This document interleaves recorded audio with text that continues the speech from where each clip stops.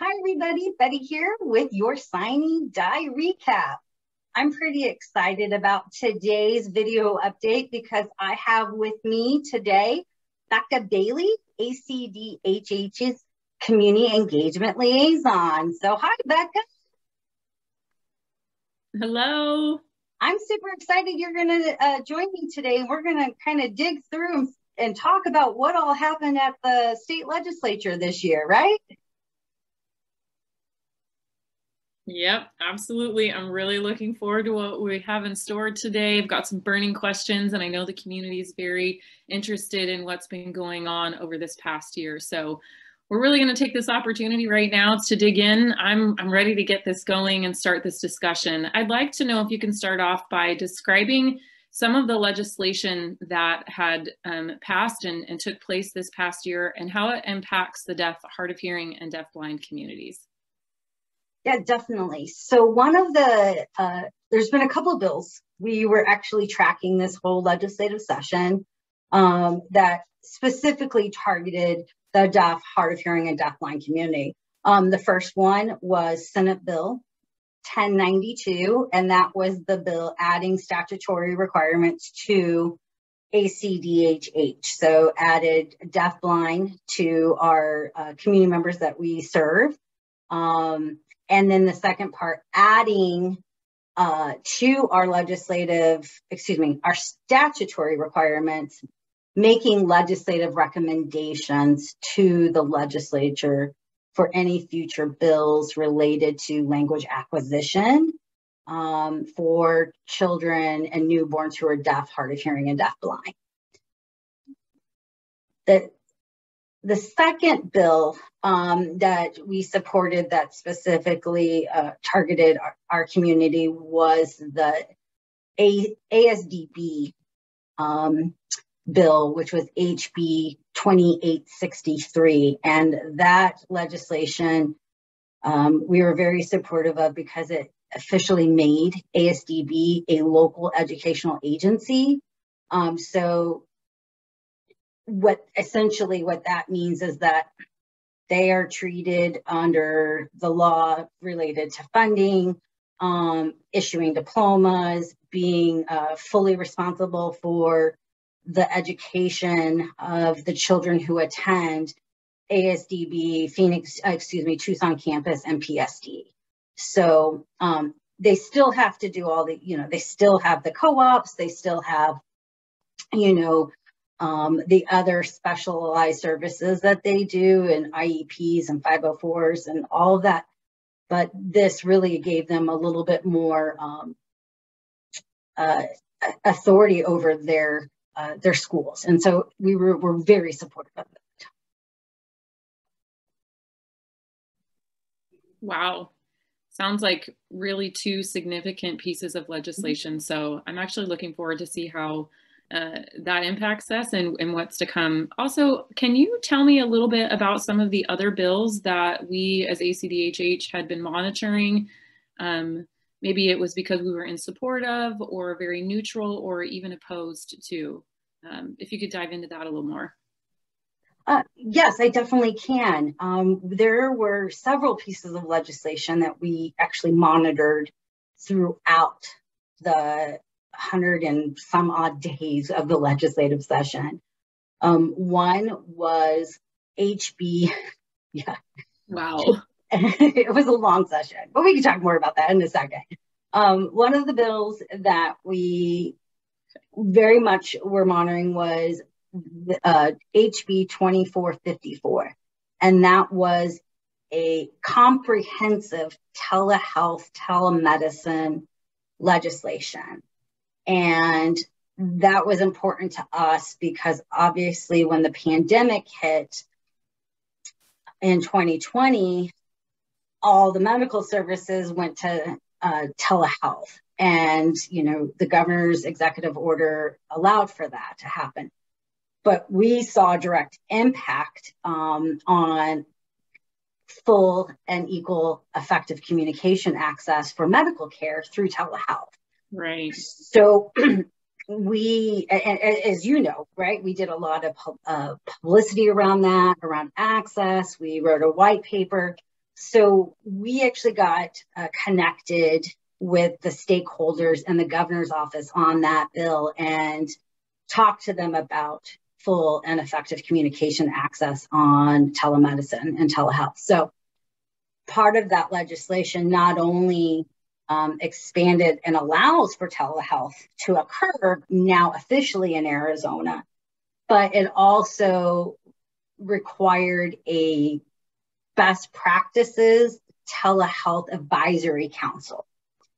And that advisory council is required to determine what telehealth service, what services can be audio only and what services can be audio and visual only. And that is something that the advisory council is required to do. Now, here's here's where we come in as ACDHH is we were uh, asked to be a legislative um, representative on that council. So in the statute, it says a representative from the Commission for the Deaf and the Hard of Hearing um, shall sit on that council to talk about um, and recommend best practices related to telehealth medicine and telehealth, uh, excuse me, and tele, telehealth and telemedicine. So, wow, that is wonderful. And it's so important for us to be at the table, to be able to provide that kind of consult for different issues, specifically related to access. I'm really excited to hear about that information. Very, very cool. Definitely.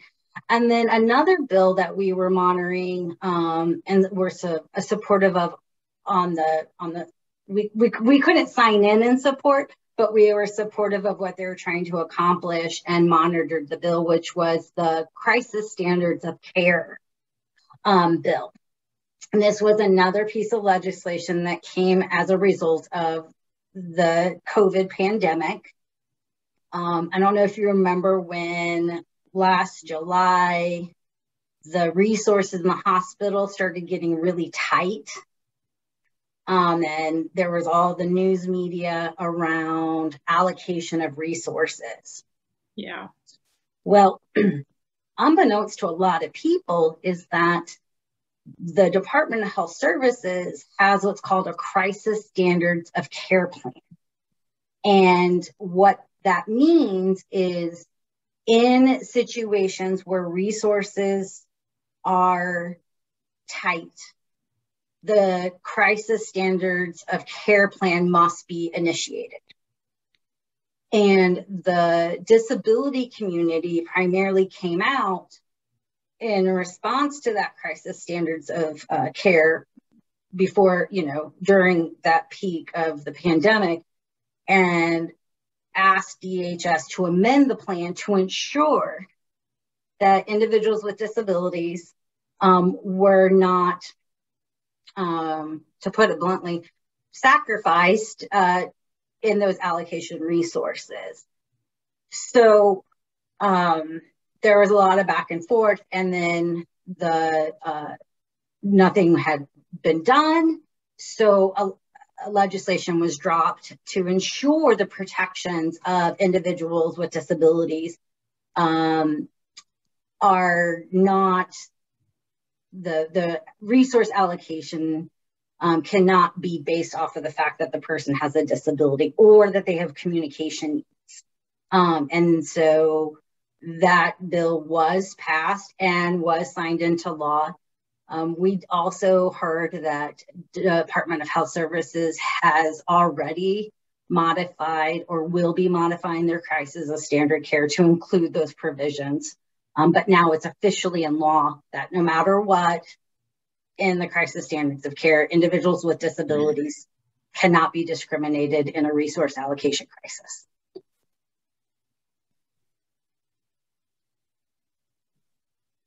Well, that's actually great that we were monitoring that clearly. Um, that is a very important issue. So that's really, really great. Yeah, definitely.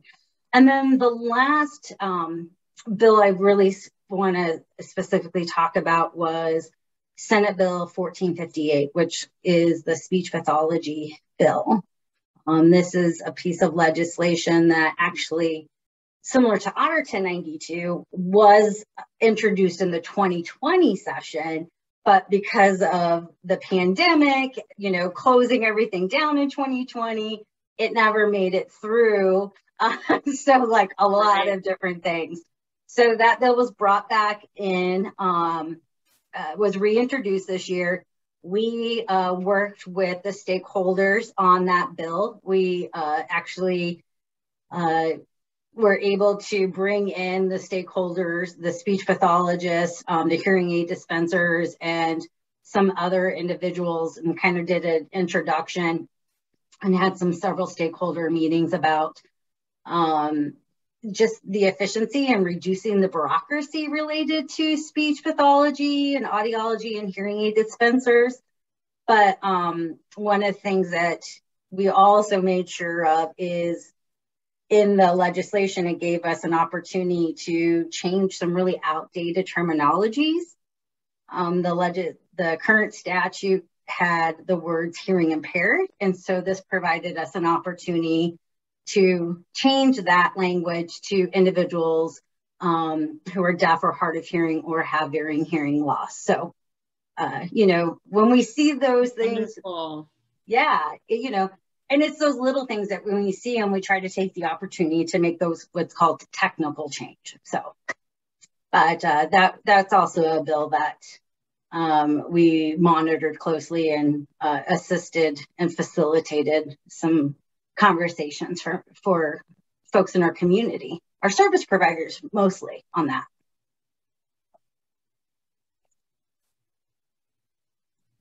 And I know this uh, does not stop here. There's a lot of other bills and a lot of other you know things that we've been that we've been tracking. It's been a very very busy session especially with the impact of the pandemic and covid last year. But thank you so much for sharing what you have. It's super helpful information and i'm looking forward to seeing what comes from it. Yeah me too.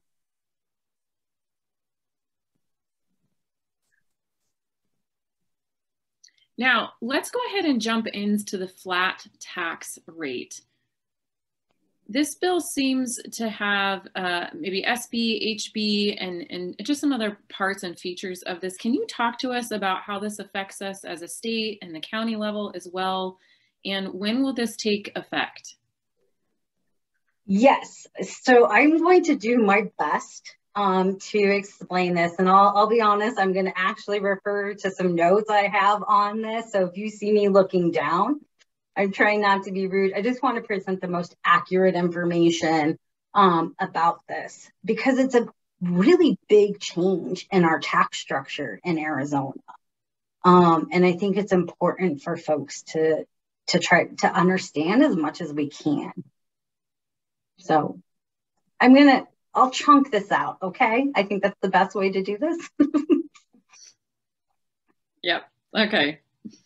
Sounds so, good. great.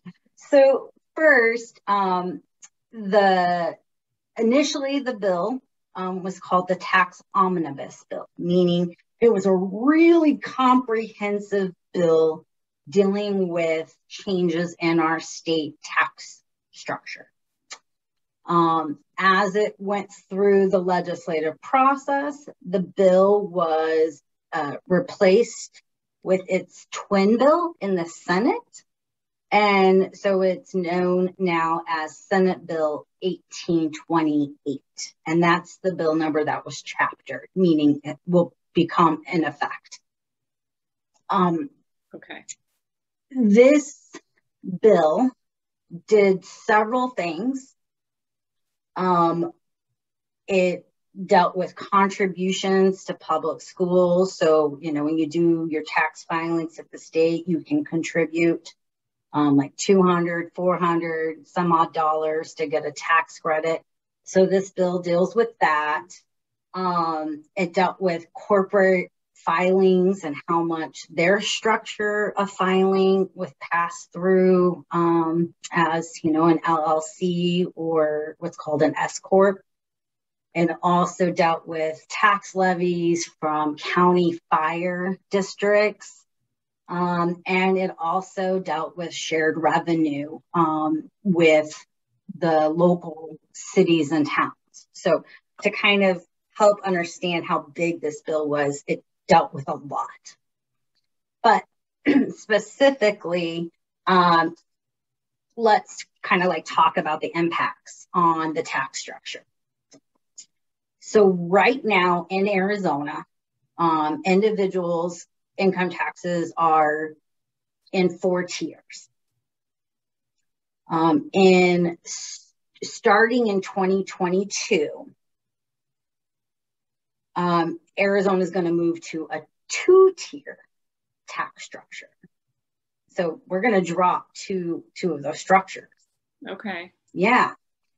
Um, and so in so in 2022, the two tier tax the two tier tax structure um, is going to be 2.55 percent for single filers or those who are married but filing separate from their spouse with a taxable income less than $27,282.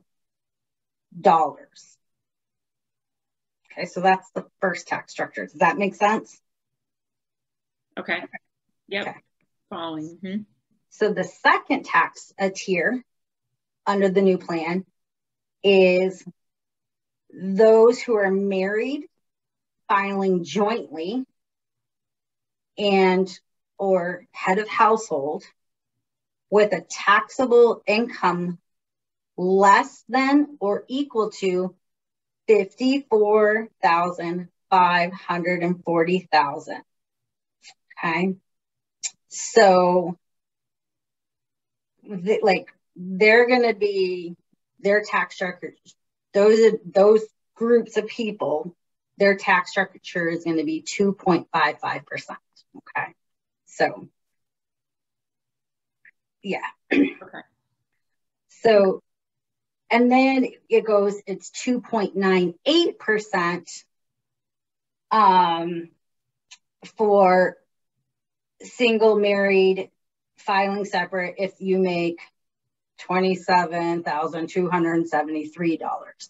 So it's what we're doing is taking four and combining into two based off where you fall in your income and whether you how you file. Um, I actually found a chart that takes someone's salary and how they file um, and so you, those folks, you know, if you're interested, I'm going to put this actually in my email news, the email newsletter version of this.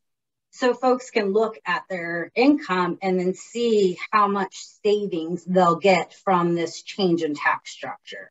Okay. So, because I think visually seeing it where you fall helps people understand, right?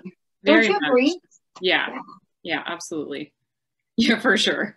I mean, I'm definitely going to be one of the first people to pull up the email and look at the chart. I'm a very visual person. I think that's going to be a really useful tool to be able to help me understand what's happening after it takes effect in 2022. Yeah, I mean, same for me. I had to look at. I'm like, so what does this mean for me? Now, one of the things that also to think about with this is that um, the majority of people who fall into the new structure, like 95% of tax filers will only see a reduction of like anywhere from $4 to $200. So you're not really going to potentially see much change in your tax filings on this. However, um, okay. where where it really has an impact is on the on the higher end the the the higher earners the people who make the big bucks. They'll see a little bit more um uh you know more of a benefit from the tax structure. Um and that and that's um you know, where you'll see in the chart, you know, so they pay more, so they're going to see more benefit. If you make less, you're going to see um, the same or just a slight difference in your taxable income adjustment for that. But the other piece of this on that change of tax structure is related to the shared revenue. So there is a trigger in this legislation that says in 2023, if the general, the state general revenue hits like $12.8 billion, then the tax structure can get moved down to, I think it's 2.53%. So two, like two tenths or two hundredths or something like that reduction. Um, and then it gets, and then that's where it'll go through. And that was kind of the compromise on this bill because of the shared revenue impacts that it'll have on cities um, and towns. Um, they're they're going to be mostly impacted by this if the revenues don't come in um, in that shared revenue. And so cities and towns talked about how they may have to find alternative ways to ensure that they have, you know, the same levels of revenue. Um, does that make sense? It is really interesting. Yeah, definitely. I'm learning a lot today from yeah. you um, and just kind of how this is going to be broken up and what it actually could really look like in the future. I think it's going to be really interesting to see how it pans out. Yeah, I think so too. Um, it, it's going to be interesting. And I think only time will tell if this is um, going to be successful for all of Arizona or is it, um, or will it be a flop? Who knows? you never know until you try, I guess, right? yep, very true. Yeah, I guess we'll just have to try and see. We'll keep our fingers crossed and see where it takes us. Definitely. Now, I do actually want to talk a little bit about the controversy around this. So, um, I think you and I were talking previously around that you had heard um, something about the impacts on schools. Do you do you want to tell folks what your what you were asking me?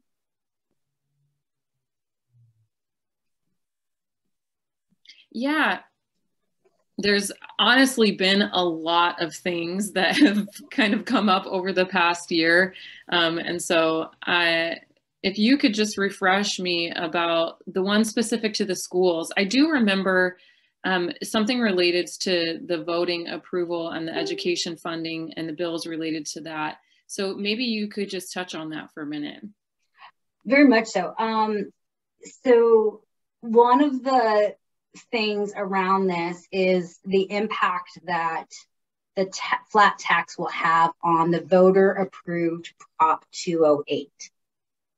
So if you recall the last election, Prop 208 was a voter initiative, meaning that the voters passed into law um, a funding formula to that would require the top earners, the top businesses um, in Arizona to pay a percentage of that taxable income of their business. And that funding is obligated to go to public education. Um, it was the a grassroots or you know uh, yeah. you know movement about funding education in Arizona. So some of the opponents of the flat tax bill state that this legislation essentially guts that voter education um, Prop 208 uh, voter approved bill. So um, because of how in the tax bill, the highest cap is 4.5%, and that includes the 3.5% that was supposed to be taxed to those higher earners of 500,000 or more, I believe is the number, um, to fund that education. So this essentially said, how I understand it is it's going to be 4.5 and we're going to wrap that 3.5% over the Prop 208 and put it in that 4.5. So it, it's it it's how they did it, and you know I'm gonna make sure I go on record. I'm not an accountant, so like these percentages, I'm like ah, but um, um, right, right. It's complicated. Yeah. Like this is why we pay people to do these things, right? I don't know. Um, I'm not a math genius. I'm not. yeah, no, I'm right there with you. um, but that's where something that's kind of um, important to say is that there those the prop 208 folks are actually looking at doing another voter initiative coming out this next election uh, to halt this flat tax plan. Um, and so it'll be interesting to see what happens. Will this flat tax plan be overturned by the voters? Um, will it go through? So I think it's pretty much anyone's kind of guess at this point what's going to actually happen with it.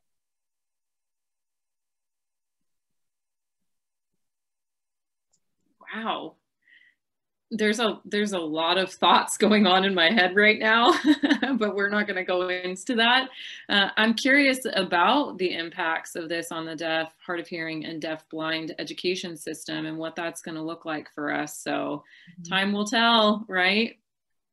Yeah, and I think that we have to kind of make sure that we're clear that this is not going to ha- necessarily have an impact on ASDB because ASDB um, has uh, several different funding sources, including the fact that we have to remember ASDB is constitutionally protected in a different way. Um, and how they operate in their funding structure um, is a little bit different from a traditional um, LEA. Even with the passage of HB 2863, it's not going to, it's going to impact the funding structure for ASDB because it's going to open up their ability to to uh, to funds that were you know um, technically not available to them. Um, but this is going to be interesting for those for those students who are deaf and hard of hearing, who and deaf blind who go through charter schools and through the public school, the school districts. So this is that's where because special education that's a whole other avenue special education in our state is not fully funded. Um, and that's that's a whole other thing that came out uh, at this legislative session was the funding um, problems related to special education services, um, to early intervention services, to DDD, to vulnerable. So there's a lot of different funding conversations happening that are going on right now. Yeah, wow. This is a lot of, of, of, heavy information. There's a lot to, to work through and to talk about. And so I'm glad that we monitor this and that we have this avail available for our community um, and that we're going to keep keep an eye on it in the, in the time to come. You are a busy lady.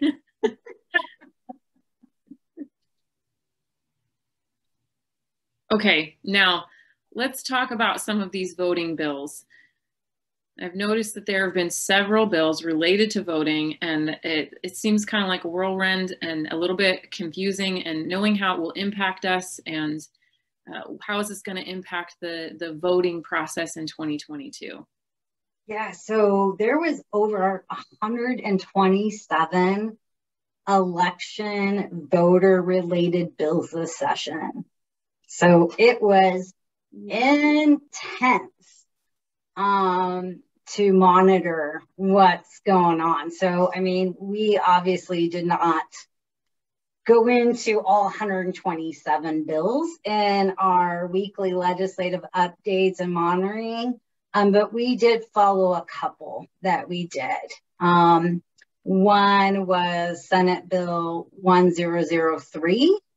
Um, this bill um, on the surface seems really um, you know, benign. It's it requires a voter who failed to um, include their signature on their early ballot envelope to um, correct the signature um, by 7 p.m. on election day. in order for that ballot to count. So it seems pretty simple. Um, however, we felt that this was going to directly have an impact on the deaf, hard of hearing, and deafblind um, community, the disability community as a whole, actually. Uh, did not like this bill. Um, and that's mostly because when you think about the you you get contacted by the county. So the county would call you, for example, back and says, Hey, did you vote an early ballot? Your signature doesn't match, or you forgot to sign it. You need to get here by 7 p.m. to correct this. Um, and, but how does that work for someone who's deaf, hard of hearing, or deaf blind, right? Like if you, you, you know, it's, yeah, you're going to call, right? You'll call back, but you're going to encounter a phone tree. If you're utilizing relay um, services, you know, and so we all know, we know in our world how phone trees are barriers, you know, to effective communication, right? Like they're challenging. Yes, very, very much so. So we try to explain like this very simple thing. It's not about providing the signature, it's about how are you going to do that in a very short amount of time when in a normal day to day, a phone tree through a government agency is one of the hardest, most challenging things for the community, right? For sure. I mean, it's already challenging in our everyday lives, and mm-hmm. that kind of situation just intensifies it that much more. Exactly. So I'll let y'all know right now if you are an early voter, which I hope you all are, um, to our to our community. Please make sure that you sign your envelope and make sure that that signature matches. Um, and you know, sign up for early notifications because through text message, um, several, I know Maricopa County, for example, has a text notification system, but that's not the case for all counties in Arizona. So that's just something put on your guys' radar.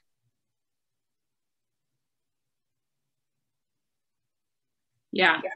That is a great tool that I've been using is the texting system and it's really cool because it kind of gives me some security to know that they've received my registration or they mm-hmm. got my ballot and whatnot. So I really am fully engaged in participating in that. That's been really, really nice. And we hope that other counties obviously follow suit with that, uh, with what Maricopa County has been doing. Yeah.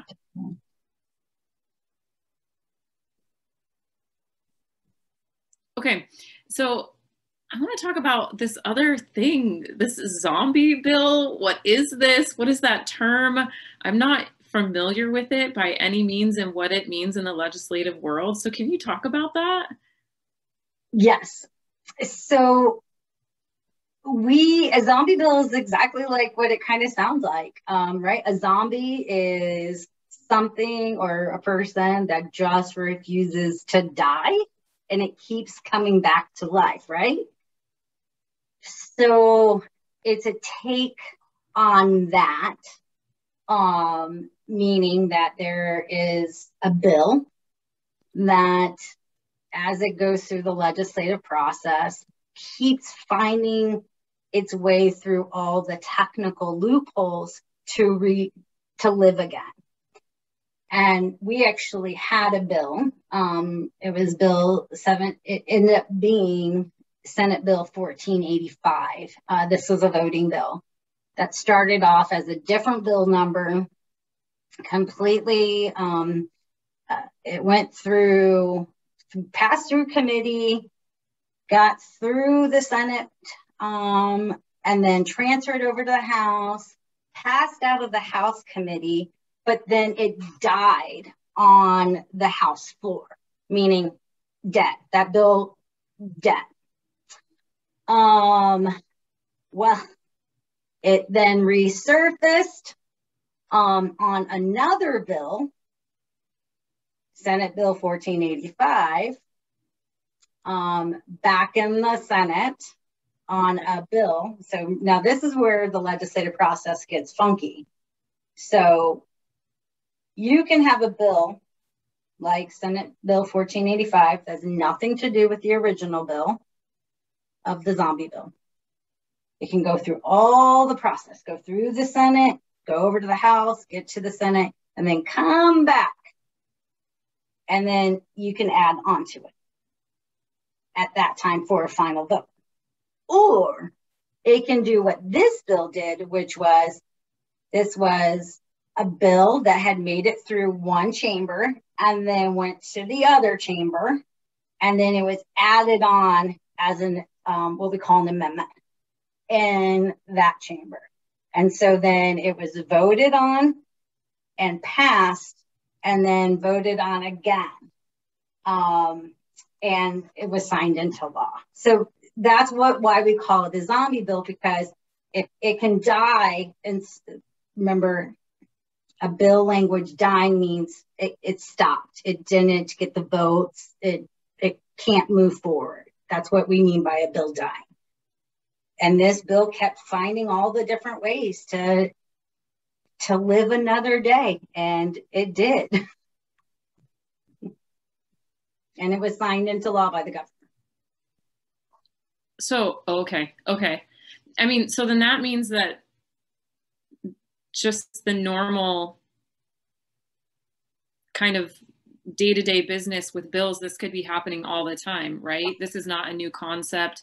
Maybe a mm-hmm. bill will die and then it comes up somewhere else and they just kind of circle back and forth from chamber to chamber and this can happen.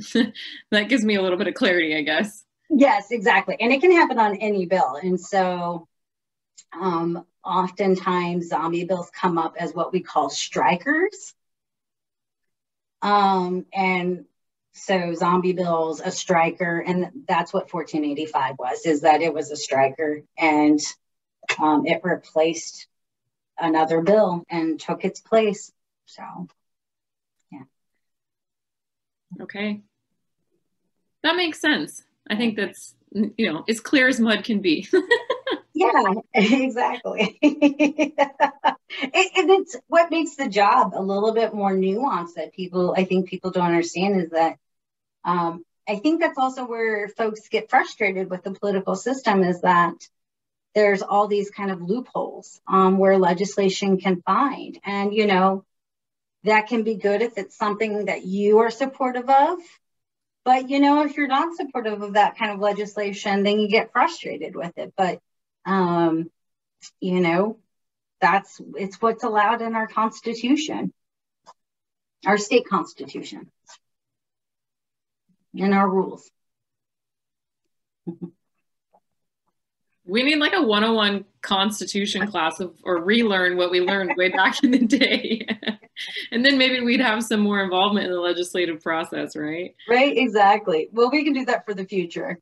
But but I do want to talk about what 1485 does and the impacts on the community. Um, is that in Arizona for the last 20 plus years, we have had what's called the Permanent Early Voting List, also known as PEVL.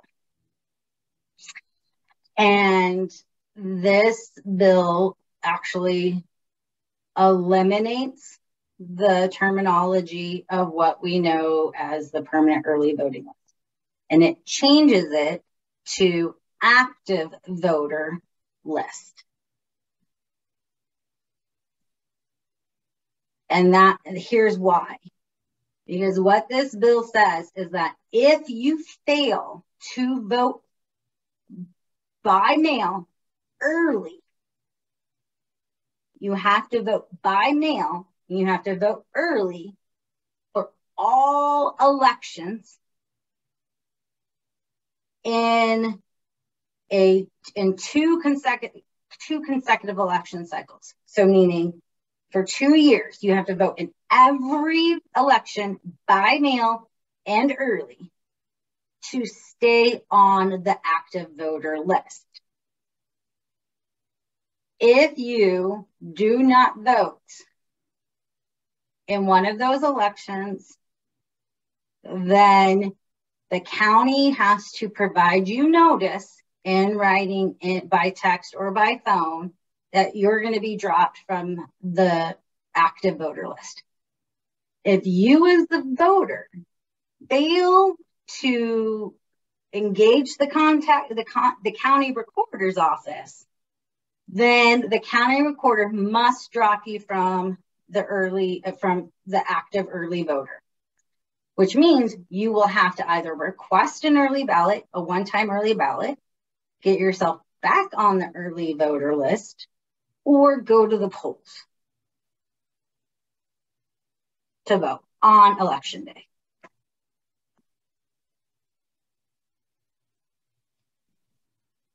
Wow. I mean, it's interesting, but looking at how this impacts the disability community in general and how this is creating more barriers. What are your thoughts there? Um, I have lots of thoughts. um,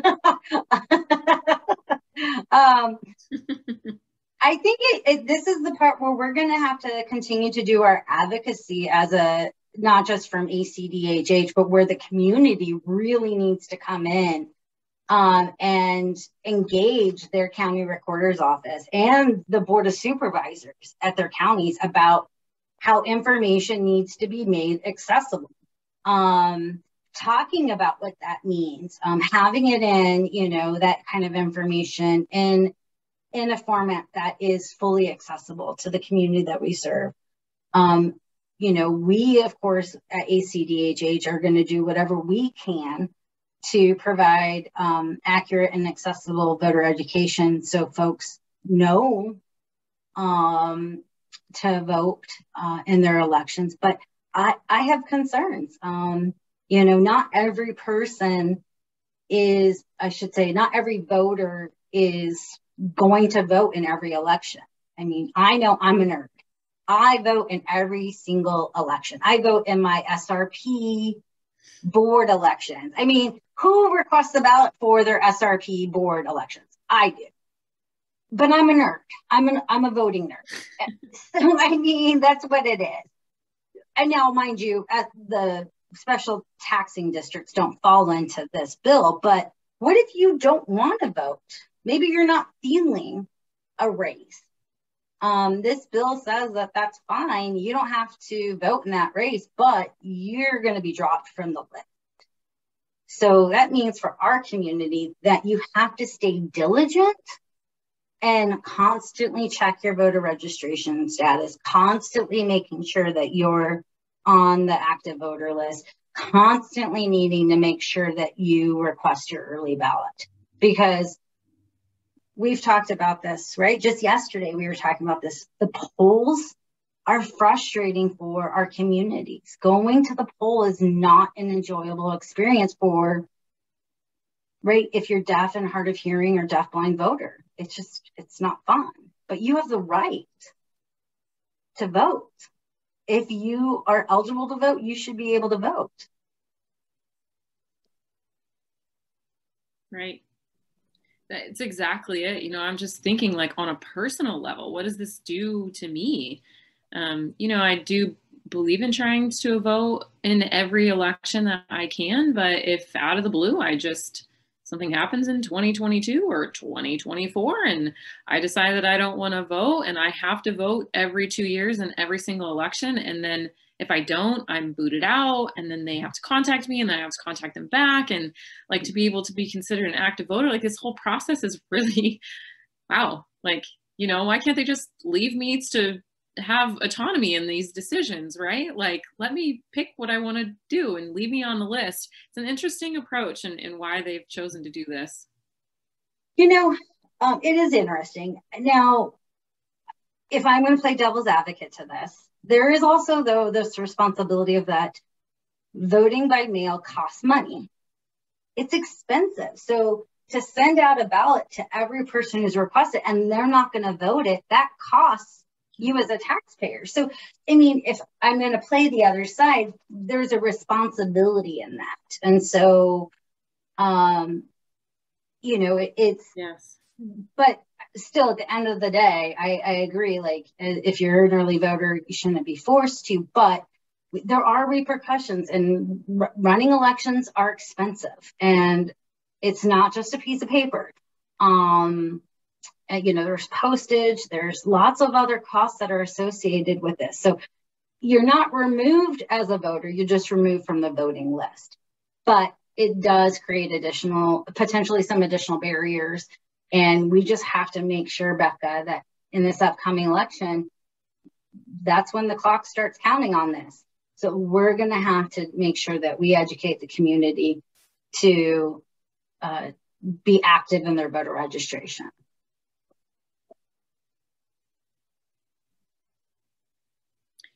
Betty, I mean, I can't thank you enough for showing that opposite perspective here and playing devil's advocate for a minute because, you know, I didn't even think of how those costs can tally up. And it's always important to look at mm-hmm. the other side of things because it, we're quick to say, oh, you're, you're creating a barrier for me, but it's so nice to hear the other side of that. So thank you.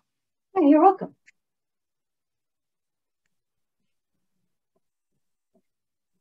Okay, so now let's talk about towards the end of the legislative session, there was a lot of talk about this budget and how long the delay was. So can you talk about that and what was the delay all about? Um, yes, I, I can certainly talk about that. So um, I don't know, Becca, if you remember early on in the legislative session, I had uh, talked about and wrote in the newsletter that the budget is the one thing that the state legislature is constitutionally required to do. Um, they are not required to do all this other stuff. They are only required in our Constitution to pass a budget. And so typically what happens in the legislative session is that once we get a budget, we know that we're going to, we're wrapping up the session and we know we're close to sine die. Well, here's the thing what that happened this year is you have to have a majority of votes to pass legislation. And in the House, you have to have 31 votes and in the Senate, you need 16 votes. So the, the vote margins are really tight. So in the Senate, where the majority has exactly 16 Republicans to pass something, if one Republican decides to say no, it stops right? Because then that's, you don't have majority. And it's the same over in the Senate. You have very, you know, your margins are so small. So when you have the majority party has to negotiate with their their members, their caucus. Um, and so if you have someone coming out saying, I'm not going to vote for that um, unless I see this get changed, then you're going to see leadership try to negotiate um, with those members and, and their caucus. Now, this is what happened. Um, you know, leadership could have tried to negotiate with the Democrats um, to get their their votes, but they chose not to. Instead, they chose to negotiate within their own um, their own members. So what kind of stalled the budget is, and we kind of need to take a step back here, is there are 11 budget bills if you included the tax bill. So we had the K through 12 education bill.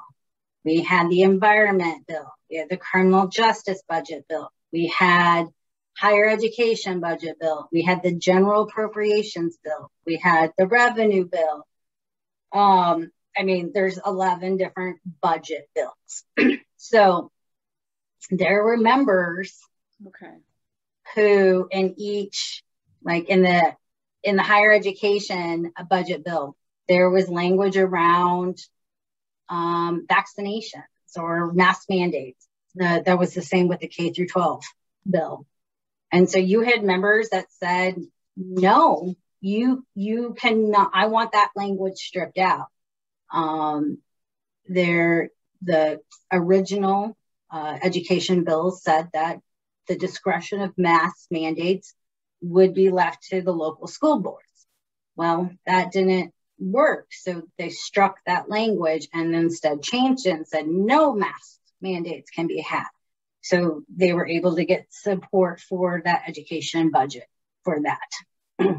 and that's the same thing that we saw um, in the criminal justice bill. We also saw it in um, the, it was in the criminal justice bill, the higher education bill, the K through 12 budget bill, and then um, we also, the general state budget uh, had some negotiations. So yeah, that's what took forever. It's like if you don't have um, if you don't have consensus in that, and on top of all that, we are. I don't know if you remember in June, our whole state was on fire. We had fires everywhere um, happening in our state. Yes. Right. Yeah. And so we had a legislative member um, whose community he represents, Globe, his his community was on fire and he was like i'm not going to vote on a budget while my my community is on fire right um we need help um and so there was also uh and then so there was some things like that uh, you know about the fire suppression but that member was also opposed to the tax the flat tax bill so there had to be some negotiations on that as well so yeah you saw a lot of bartering okay. and negotiation happening with the budgets. Wow. Wow. I didn't realize that we had 11 budget bills. I mean, I knew that there were several, but not 11. There's just a lot of hands in the pot, right? Like you said, there's negotiations and somebody's opposed to this, and there's just a lot of things happening behind the scenes. And to be able to see the big picture on on why and what caused the delay is really interesting. Okay, so let's actually, uh, if there's nothing else that you want to talk about the fire suppression bill, um, then maybe we can move on to the unemployment um, related to the benefits or the insurance. That part is not incredibly clear to me. So if you want to talk about that, that would be great. Sure, we can definitely talk about the unemployment. Um, so when we first started out um, in the beginning of the legislation, uh, legislative session, um, there were two unemployment bills that were dropped. One from the House, which was Representative Cook from LD, um, I believe he's LD8, I could be, no. Um, and then the second one was Senate uh, President Fann um, over in the Senate. And they each, each of the unemployment bills did slightly different things. Um, but essentially the tenets of each of those bills uh, were similar is that there was increasing the unemployment benefits in Arizona because um, I don't know um, if you know this, but we're like one of like we're in like the bottom 47th or 48th state in our unemployment benefits. And so our cost of living has increased, but our unemployment benefits have stayed the same for like 17 years. So, um, and while unemployment is not meant to be, you know, you're not supposed to be able to live off it, you're, it's just a stopgap um, to help until you can get future employment, right? So we realized out of the COVID pandemic, once again, we made us, you know, open, look in the mirror and go, oh my gosh, like we've, there's a lot that we've got to fix um, for our community, and unemployment was one of them. And so, what ended up happening with unemployment was that the, those bills, the language of those two bills, were put together and then put into the budget bill. So we saw an actual one of the budgets, um, the budget reconciliation bills, the language, increasing unemployment benefits to $320 a week. So that will be an increase of $60 um, from what it is right now. Um, and, but here's the catch. Right now, you get it for 26 weeks. So you get an increase, but then you're going to be deduct, deducted to 24 weeks. So you get $320, but only for 24 weeks. Okay. Here's the other caveat to this. It does not start until, let me, I'm going to clarify this, July 1st, 2022. So people who are on unemployment right now are not going to see the increase during their unemployment phase. It's going to be folks um, who are on employment next year. I mean, and there's a lot of other like technical stuff for corporations. Yeah. So I know we actually have a lot of deaf business owners, um, you know, and hard of hearing business owners in our community. So if they, if anybody in our who's watching who is a business owner wants to know more information about that related to their um, payment into unemployment, give us a call, send us an email. Um, we can direct them to the um, to the, the correct resources on the impacts for them. Okay. Very cool. This is great information to know. And I think it's a great segue into us wrapping up our interview. Uh, thank you so much for all the things. I know that there's no possible way to fit it all in in, in one interview. There's just been so more, so much work that you've done. And so how can you tell us how we can kind of engage the community members, the deaf, deaf-blind, hard of hearing community? And is there any, maybe any other stakeholders, parents of deaf, hard of hearing, deaf-blind children, and the list goes on, right? How we can be more involved and engaged in this process in the legislative world, all of it. Mm-hmm. Um, any tips from you or ideas that you might have for us? Yeah, I think um, there, I'll, I have several different ideas. I mean, and, and I think that, you know, we talked about this too, is first, you know, I think it's about uh, learning the process. Um, we're here, right? Like you and I are here to help um, get folks to, you know, understand, uh, you know, what it, what the legislative process means, I would love for more folks to reach out, um, ask more questions. Uh, I think one of the things is if you don't understand, you know, we're here to help. It, it's a complicated system. I mean, it shouldn't be, but it can be.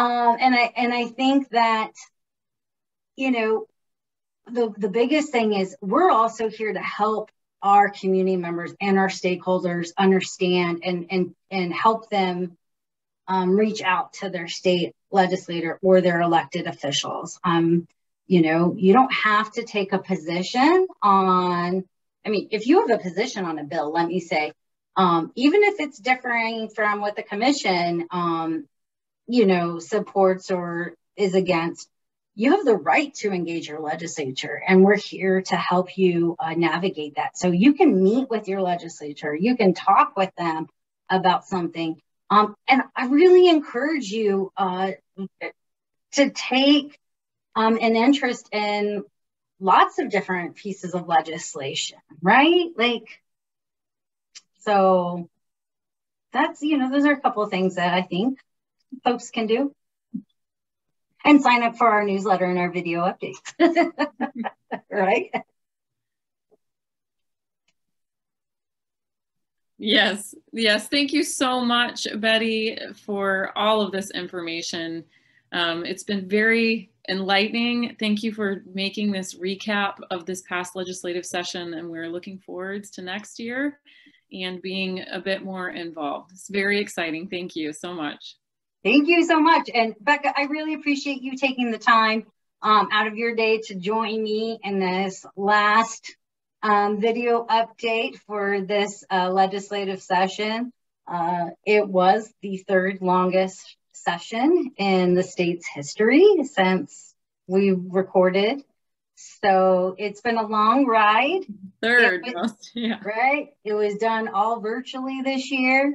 So hopefully uh, next year uh, you would join me again and having, uh, you know, talks like this. So Thank you.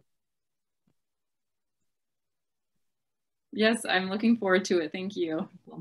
And thank you everybody for following us along this legislative session. We really appreciate it. And as always, if you have any questions or would like to learn more, please uh, contact us at info at acdhh.az.gov, or you can give us a, a, follow at any of our social media accounts on Facebook, uh, Instagram, or Twitter. Talk to you soon.